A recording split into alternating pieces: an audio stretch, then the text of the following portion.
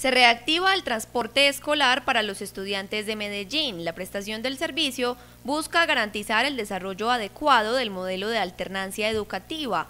A la fecha se tienen 8.724 beneficiarios preaprobados, principalmente en San Cristóbal, Robledo, Manrique y San Antonio de Prado. Se espera que el número de usuarios llegue a los 10.000. Las instituciones educativas beneficiadas son San Antonio de Prado, El Manzanillo, Asamblea Departamental Sección León de Grave y Vida para Todos.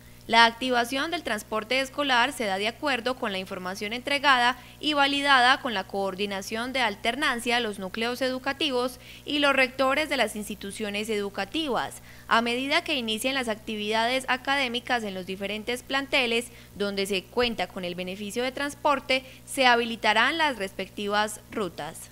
Alternancia educativa también llega a la alternancia y a prestar el servicio con el transporte educativo en Medellín. Ya son más de 8.000 estudiantes que se han caracterizado para ser beneficiados con el transporte escolar y esperamos llegar a 10.000. Desde el 22 de febrero se está prestando ya el servicio de transporte escolar y seguimos trabajando con la unidad de permanencia educativa de la Secretaría de Educación para seguir garantizando no solo la alternancia, sino el transporte escolar. Para muchas familias es muy complejo llevar a sus hijos hasta la institución educativa. Por este motivo, esta reactivación representa esperanza y facilita el retorno a las aulas de los estudiantes. Nos vemos muy beneficiados por un lado o por el otro porque yo tengo turnos muy diferentes en mi trabajo. Cuando no es de día soy de noche y mi esposa es la que le queda fácil recogerlo y nos queda un transporte excelente porque siempre vivimos retirados más de media hora de acá de, de la escuela, caminando. Entonces es un punto a favor.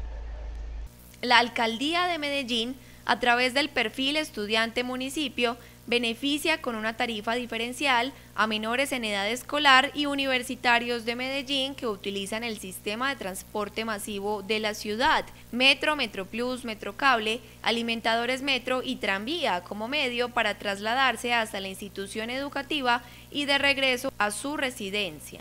Los estudiantes deben inscribirse en Bienestar Universitario o en las diferentes instituciones educativas para que por medio de estas se remita a la Secretaría de Educación la información necesaria para remitir posteriormente al metro los estudiantes beneficiados.